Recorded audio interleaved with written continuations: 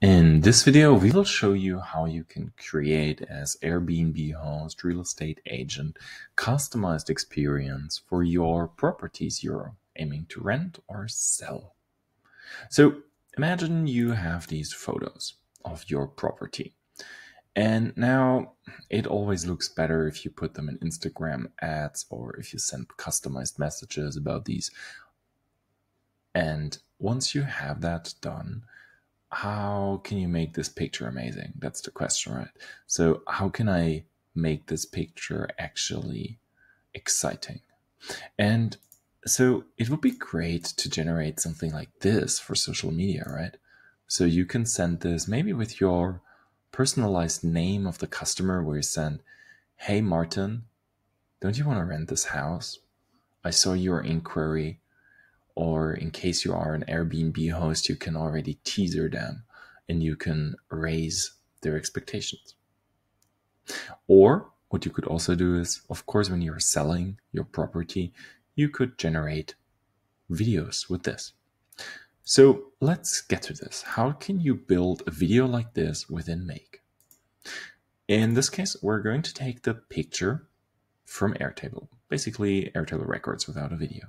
We're going to create a video in Runway. I'm not going to demo here Runway as I demoed it in other videos already. And we're going to use Placid. And in Placid, you can have templates set up. Check it out. It's an amazing tool. And you can add these titles. So you can set, for example, Hi SAP. And you can add the title there as well. And you can update the video in Airtable. So with this, as a real estate agent, you can create customized experience based on the customer needs. So of course, you could have taken the name of SAP from your CRM or for your Airtable where you are storing the data and then sending it along to the template. The video here by Runway takes always a bit. That's why I'm in the meantime explaining you some of the context. When we are entering the Placid app, I will pause and continue once it's done because this also takes quite some time.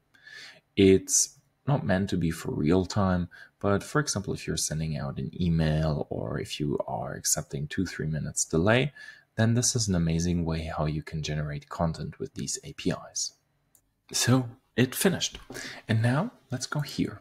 We should, if we reload this, see that the Electric Living has been created.